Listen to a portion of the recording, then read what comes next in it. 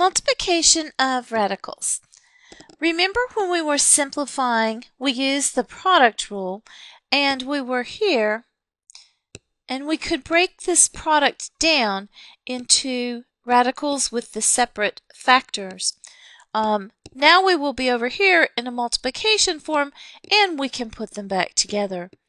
Um, numbers that are on the outside of the radicals will multiply, numbers on the inside of the radical will multiply together. Also recall that if you multiply the square root of something times the square root of itself, that is just going to take the radical off. This can save you some time if you remember this. We could always work it out. It would be square root of x times x, but then you have two copies, and so one goes outside the radical. Let's look at some problems. First, we have square root of 5 times square root of 15. We could go ahead and just multiply the 5 times 15, and we would have square root of 75, and then we would need to simplify. Another thing that you can do is just write them under the radical, and then you will break them down rather than multiplying them first. So we can break down the 15. So we have a 5. 15 is 3 times 5. Now, if you have two copies of anything, that is a square. So you could take one outside for that group, and the 3 is left. That will simplify your radical rather than going to 75 and then breaking it all down. For this problem, we will need to multiply the numbers that are outside the radical and the numbers that are underneath the radical. So first of all, negative 2 times 4 will give us negative 8. And underneath the radical, we have 5 times 6 is 30. We could try breaking that 6 down to 2 times 3, but we didn't get anything that simplified, so we could have just left it as 30. We'll put it back to 30. So that's our simplified answer.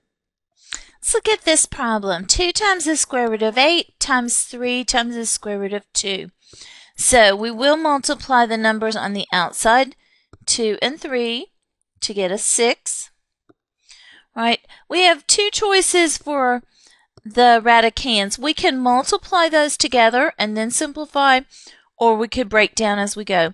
If we multiply them together, 8 times 2 is 16. 16 is actually a perfect square. The square root is 4. You could take the 4 and do times the 6 and your answer is 24. An alternate way is to break down as you go, which you don't always get a perfect square there. So we could break down. For 8, we've done that one a few times. It breaks down to three twos. And 2 is already a prime. When you have those all together, though, it gives you two squares underneath there. So um, square root here, we will take one 2 out. That's the square root of 4. And square root here, we will take a 2 out. They will multiply together and will multiply by the 6. And that will also give us 24. Next we have one radical times a sum of radicals, and this is just going to be a distribution problem. So we'll multiply that square root of 3 times each of those. So for our first one, square root of 3 times 5. Even if we put both of those under the radical side by side, they're not going to simplify. Uh, we can't get two copies of anything. So it's just going to stay as the square root of 15. Right? Next we do the square root of 3 times the square root of 10 gives the square root of 30. We could try to break 30 down. We could do 3 times 10, and 3 is prime, and 2 times 5. So that's broken down all the way. There is not anything to give a square there. So we will just go back and we will stop at the 30. These two radicals will not combine. Here is another distribution problem. So we're going to take the square root of 2x times square root of 2 and then times minus square root of x. So when we do the first one, we get square root of 2 and another 2 and an x. The 2's make a perfect square. It's 4. So square root of 4 is 2 or just take 1 2 out for the group of 2's. Keep the x. It doesn't have anything to go with it. When we distribute to the second term, we get a 2 and we have two x's. The x's make a square, so one x goes out for that group. The 2 is left, and that is our simplified answer. Next, we have two terms times two terms. Um, this will give us a FOIL problem. So we'll multiply our first terms. 2 times 3 will give us a 6. We'll multiply outside. And this 2 will multiply the, by the 2 that's on the outside of the radical. So 2 times 2 is 4, and you're going to keep the radical. Inside, the 3 will multiply times the negative 5 to give negative 15, and you're going to keep the radical. And then our last terms, the numbers outside the radicals will multiply to give a minus 10. And inside, you have square root of 2 times square root of 2. You remember, when you multiply the same square root times itself, the radical will come off. So it will give us just a 2. And now we'll clean up. This is a minus 20.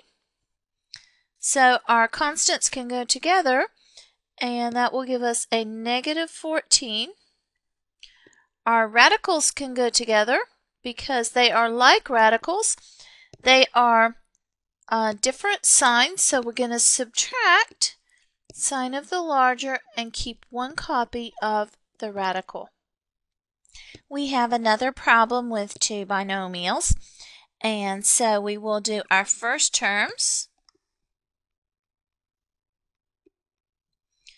Uh, the 3 will multiply, it would be a 1 outside here, so it's going to be 3. We have square root of 7 times square root of 7 is going to take the radical off. So will give us a 21. Then we'll do outside.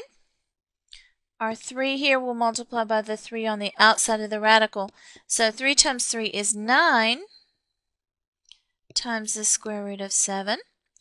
Inside, minus 2 times the square root of 7. And last, minus 6. And then we will clean up. Uh, 21 minus 6 will go together to give us a 15.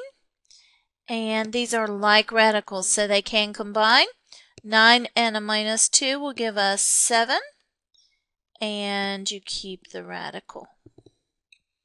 Be careful on this next one. You are squaring a binomial because your plus sign in between.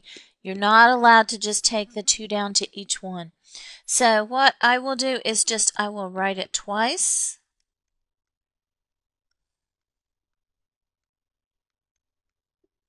And then we'll do a FOIL method.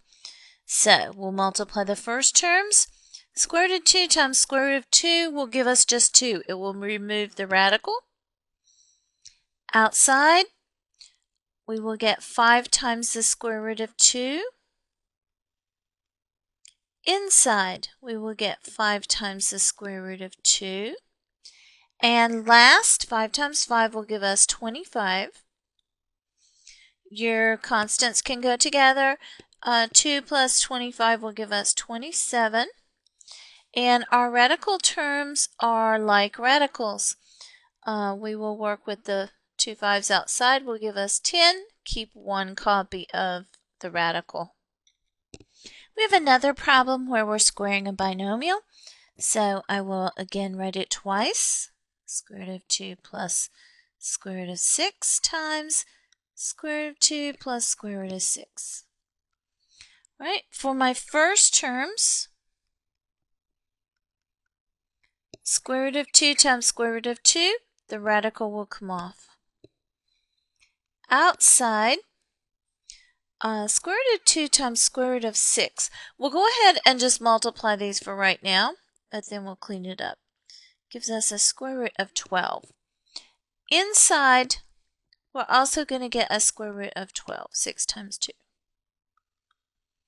And last terms, square root of 6 times square root of 6, the radical will come off. All right, my 2 plus 6 can go together to give 8. Um, the square root of 12 will simplify to 4 times 3. And if you realize there 4 is a square, you can take the square root or you can break it on down and see that you will have a 2 come out. So it will be 2 times the square root of 3. The other one will break the same way, 2 times the square root of 3. And I've already combined the 2 and 6. So these two can go together. You work with the numbers outside to give a 4 times the square root of 3. Our next multiplication, it is two binomials, uh, but these have the opposite sign. These are called conjugates. Uh, let's see what happens when we multiply these. We're still going to do a FOIL method. So our first terms, um, the 4's will multiply on the outside. 4 times 4 is 16. Square root of 5 times square root of 5 will take the radical off and give us 16 times 5, which is 80. Outside, we get minus 20 times the square root of 5. Inside, you get plus 20 times the square root of 5. And last, we get minus 25. This is the special thing about conjugates. This outside and inside are going to cancel. So I have 80 minus 25 will give me 55. We are multiplying two binomials here, so this will be a FOIL technique. So we'll do our first terms. Remember when you take the square root of something times itself, it will just remove the radical. So this will give us 5x. Then we'll do outside. So the minus 2 is outside. It's going to stay outside times the square root, and then we multiply things that are inside. So 5x times 2x is 10x squared. Then we'll do inside. So the minus 3 is outside, so it will stay outside. And 2x times 5x will give us 10x squared. Right? And then we'll do our last terms. So our numbers outside will multiply a minus 3 or negative 3 times a negative 2 will give us a positive 6. And the square root of 2 times the square, square root of 2x times square root of 2x will just remove the radical. All right, now let's clean it up. And we could have simplified here by taking the x squared out, but we'll go ahead and just combine first. So this term we can multiply 6 times 2x gives us 12x. It is going to combine with the 5x to give us 17x. And these two are like radicals, so we do the math on the outside. So it will be a minus 5 times the square root of 10x squared. I haven't simplified that yet. And then 10 we cannot break down. It breaks to 2 times 5, so no square in there. But we can simplify for the x squared. So we'll take the square root of that, which is just an x. So one x goes to the outside. So 17x minus 5x times the square root of 10. Let's look at one last problem with the multiplication. This is also two binomials, so we will use a FOIL technique. And we will do our first terms. 4 times the square root of 2 times the square root of 2. So we'll keep the 4. Square root of 2 times square root of 2, we'll take the radical off to give us an 8. Um, outside, the 4 times negative 2 will give us a negative 8. And square root of 2 times square root of 3 will give us a square root of 6. Inside, we have a minus 6 on the outside. Square root of 3 times square root of 2 will give us square root of 6. And then our last terms. Uh, the two negatives will give us a positive 12 on the outside. Square root of 3 times square root of 3 will pull the radical off. And 3 times 12 gives us a 36 there. So 8 plus 36 can combine to give us 44. And our radicals are like radicals. Um, we will add and keep the sign. So minus 14 times the square root of 6.